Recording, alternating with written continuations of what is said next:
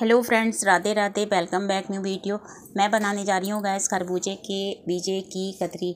सो gas खरबूजे की बीजे की कतरी बनाने के लिए कढ़ाई, लोहे की कढ़ाई ले लेंगे या जो भी कढ़ाई हो, उसमें डालेंगे एक चमचा देसी घी और बीजे को ढक देंगे. और कढ़ाई को गर्म होने देंगे और गैस को लो फ्लेम पर कर देंगे। अगर आप थाली से ढकेंगे नहीं तो जितने भी बीजे हैं सारे कूद कर बाहर चले जाएँगे और कढ़ाई खाली हो जाएगी।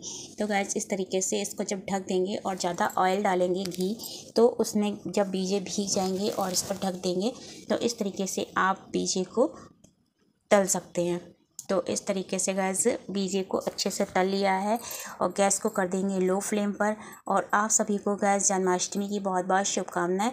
अब नवरात्रे में भी आप खरबूजे की बीजे की कतरी बनाकर स्टोर करके रख सकते हैं और कान्हा जी के लिए और माता रानी के लिए भोग भी लगा सकते हैं। भोग लगाकर आप प्रसाद में पाइएगा और प्रसाद सभी को बहुत ही ज़्यादा पसंद आएगा।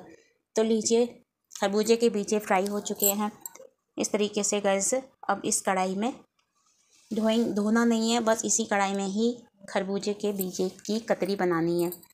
तो गैस इस तरीके से आप पूरी वीडियो देखेंगे तो आपको लगेगा कि खरबूजे के बीजे की कतरी बहुत ही ज़्यादा बढ़िया लगती है खाने में और बहुत ही ज़्यादा फ़ायदेमंद भी होती है। खरबूजे के बीजे बहुत ही ज़्यादा फ़ायदेमंद होते हैं। तो अब एक गिलास, छोटा गिलास पानी लेंगे और लोहे की कढ़ाई में मैंने डाल दिया है। अब इसको गैस को हाई फ्लेम पर कर देना है। चाशनी आपको परफेक्ट बनानी है। अगर आपकी चाशनी अच्छी नहीं बनेगी तो आपकी कतरी बिल्कुल भी जमेंगी नहीं।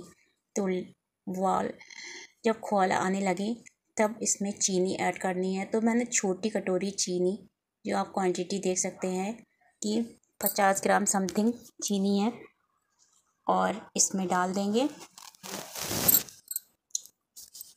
ढाई सौ ग्राम बीजे में पचास ग्राम कत, चीनी। अब इसमें खूब अच्छे से जब खोल आने लगेगी, तब इसकी दो तार की चाशनी बनानी है। जब कड़छी से इस तरीके से आप करेंगे तो इसमें दो तार की चाशनी निकल के आएगी और नॉर्मल टेम्परेचर का पानी है, उसमें आप चाशनी को डालेंगे तो ये नीचे को जमने लगती है। या आप पानी ठंडा ले लीजिए और जब चाशनी डालेंगे तो ये जमने लगेगी। अब आप देख सकते हैं कि ये दो तार की चाशनी परफेक्ट तैयार हो गई। तो इस तरीके से अब आप देख सकते हैं, मैं दिखा रही हूँ पूरी, दो तार आपस में निकल रहे हैं। तो इसको गैस बोलते हैं दो तार की चाशनी और तीन तार की चाशनी जो होती है, जो बहुत ही खराब आग हो जाता है, उसमें कतरी नहीं जमती है। गैस को लो फ्लेम पर कर देंगे और जो बीजे मैंने फ्राई किए थे तो वो इसमें ऐड कर देंगे। तो इस तरीके से गैस आप बीजे की कतरी बना सकते हैं। क्वांटिटी बिल्कुल परफेक्ट रखनी है। आप चाहें तो आधा किलो बीजे की कतरी बनाइए। तो उसमें चीनी आपको ढाई सौ ग्राम ऐड करनी है।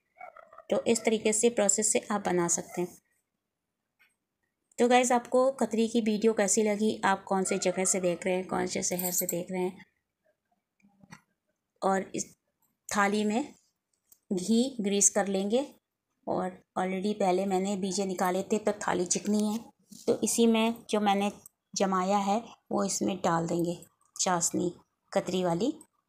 तो इस तरीके से जब डाल देंगे तो इस तरीके से जब फैलने लगेगी थाली में। तो ऑलरेडी अपने आप ही फैल रही है। अब आप जब मैं कढ़ाई से निकाल रही हूँ तो आप देख रहे हैं कि जमने लगी है।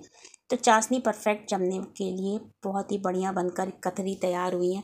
इस तरीके से गैस आप खरबूजे की, बीजे की कतरी बनाएँगे तो सच मानिए बहुत ही बढ़िया टेस्टी और जम जाएगी। अब इसको एक घंटे के लिए पंखे में रख देंगे, पंद्रह मिनट या एक घंटे। तो इस तरीके से जब ये ठंडा हो जाएगा, क्योंकि चीनी की चाशनी जो होती है थोड़ी सी गर्म होती है और ठंडा होने में समय लेती है। या आप इसको फ्रिज में भी रख सकते हैं तो बहुत ही जल्दी ठंडा हो जाएगा, मगर इतना गर्म फ्रिज में रखना नहीं है, थोड़ा ठंडा हो जाए तभी फ्रिज में रखिएगा। अब आप देख सकते हैं कि ये सब्ज़ी जम गई है। तो इस तरीके से जब ये जम जाएगी तो चाकू से काटेंगे। अब आप देख सकते हैं कि चाकू से काटिएगा या इस तरीके से तोड़ लीजिएगा छोटे छोटे पीसेस में। तो इस तरीके से खरबूजे के बीजे की कतरी बनकर परफेक्टली तैयार हो गई। सो so गैस आपको रेसिपी कैसी लगी कमेंट बॉक्स में ज़रूर बताइएगा। अगर नए हैं मेरे चैनल को सब्सक्राइब शेयर कीजिएगा। मिलते हैं नेक्स्ट वीडियो में। राधे